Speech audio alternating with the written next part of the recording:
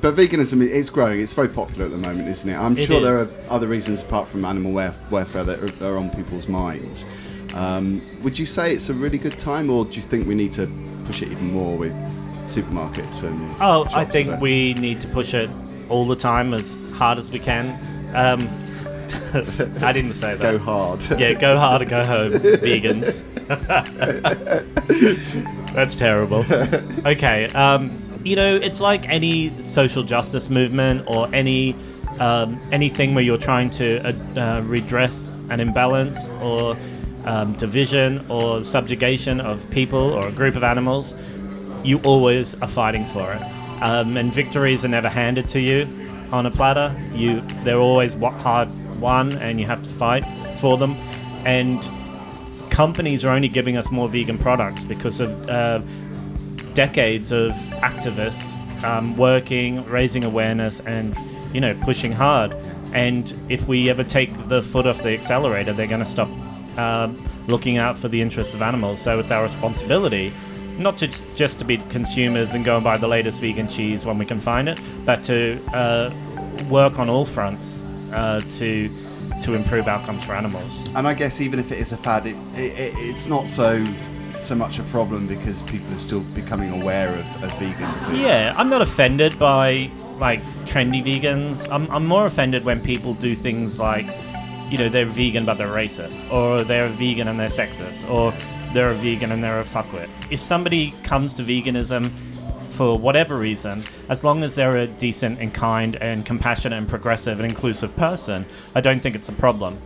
Um, of course, there are a lot of people that use uh, body shaming agendas um, when trying to promote their blog or their vegan, uh, you know, YouTube channel, and I'm I'm not really into that. Well, it's one of the reasons why I love what you do is because I mean the title alone, I think it's fantastic because Yeah. you're you're kind of throwing away all of that cliche crap about you've got to be a certain way or you Yeah. you, you do look a certain way if you're a vegan. It's like you're unhealthy. Well, it's uh, you know I started my blog nearly six years ago now, and when I started my blog and I needed to come up with a name for it, and I said Fat Gay Vegan, I had so many people tell me don't do that.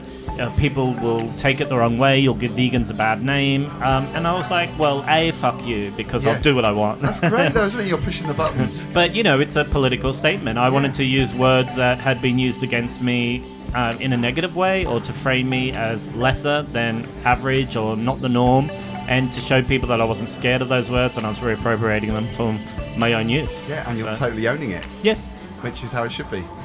Uh, celebrities, we mentioned about the fact that sometimes it's faddy, the veganism thing. At Yep. the moment, we've got a lot of celebrities. I'm not saying they're faddy, um, these particular celebrities, but we've got Ellen DeGeneres, we've got Beyonce, who are all vegans for whatever Yeah. reason. That surely is a good thing as well, that it's becoming quite a high profile lifestyle. Yeah, I mean, I, I take it with a pinch of Himalayan pink salt because, um, you My know, favourite. yeah, I love it um, because it can send mixed messages.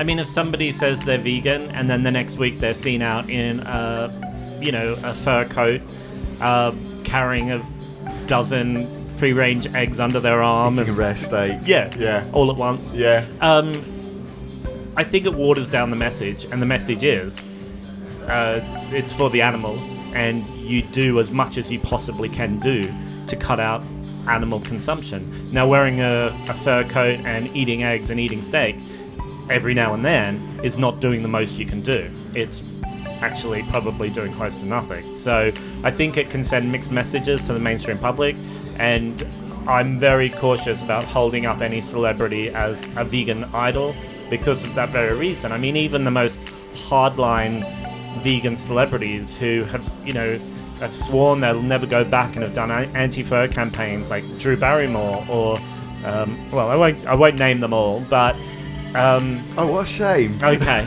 but you know, or someone like Bill Clinton, and I'm, you Yeah. know, it's often not these uh, celebrities' fault. Uh, it's often the media that frame them, or it's often vegan people like me or other activists who want to hold up a big name as an example to get attention. It's often our fault for idolizing or hero worshipping these people and putting them on a pedestal, when in fact they've never publicly acknowledged that they're vegan. So I think there is a danger because you know people change their mind. They might be vegan this week and not vegan uh, the next week or next month or next year. So I think it's uh, it's a little dangerous to idolize those sorts of people. But it wasn't until I moved to the UK and I started to have internet access. Not that we didn't have it in Australia. I don't mean I don't mean that at all. I don't know. I haven't been there in a while. They still might not have it. I'm, I'm not air sure. punching for the UK. Yeah, yeah. we've you, got internet. You've got internet.